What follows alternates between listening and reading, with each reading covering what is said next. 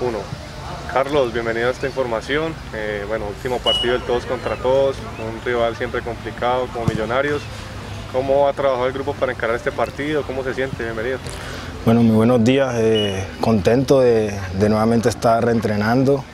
Eh, no es fácil estar, estar ausente, pero, pero gracias a Dios me he recuperado bien. Gracias al departamento médico que, que le coloca mucho empeño cuando, cuando uno cae en una lesión y hoy gracias a Dios estoy con el grupo.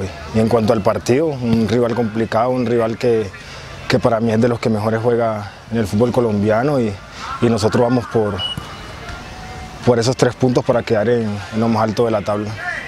¿Qué tener, en precaución, ¿Qué tener de precaución con Millonarios? Como usted lo decía, un rival que evidencia buen fútbol, que sabe presionar, que digamos el Deportivo que lo enfrentó bastante el año pasado y y bueno, que también va con la misma iniciativa de ustedes, que es quedar en los primeros puestos del campeonato. Bueno, Millonarios es un equipo que, que tiene mucha movilidad en el frente de ataque, que tiene extremos muy rápidos como Emerson, eh, delanteros muy punzantes como, como Chicho Arango, laterales que, que, normalmente siempre pasan al ataque como Perlaza. Entonces es un equipo que, que tenemos que controlar esos circuitos y, y creo que después nosotros pensar en, ir a Bogotá y hacer nuestro fútbol, tener el balón, eh, someter al rival con el balón y creo que esa es la, mayor, eh, la mayor fortuna que nosotros tenemos. En cuanto a la parte física, ¿cómo se encuentra? ¿Cómo se dio toda su recuperación? Eh, ¿Cómo se ha sentido en esa vuelta al campo?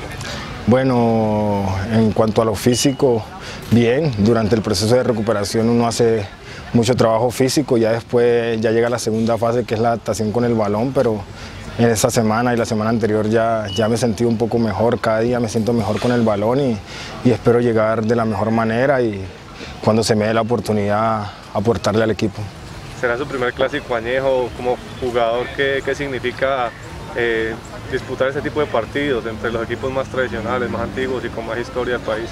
Bueno, son clásicos, clásicos que que la palabra lo, dice, partidos que hay que ganar, que hay que salir a, con la mejor actitud, con la mejor disposición y, a poner en práctica todo lo que se trabaja durante la semana. Precisamente, ¿qué ha trabajado el equipo? ¿En qué ha hecho énfasis para enfrentar a Millonarios?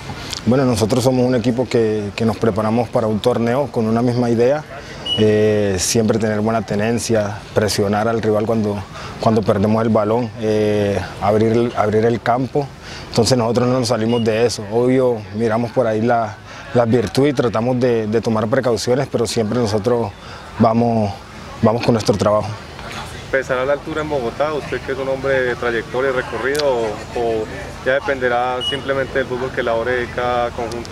Claro, la altura siempre, siempre va a pesar, pero creo que nosotros en la altura hemos conseguido resultados buenos, fuimos a Tunja, ganamos, entonces creo que en cuanto a eso no, no nos va a afectar mucho. Carlos, muchas gracias y éxitos. Bueno, gracias a usted.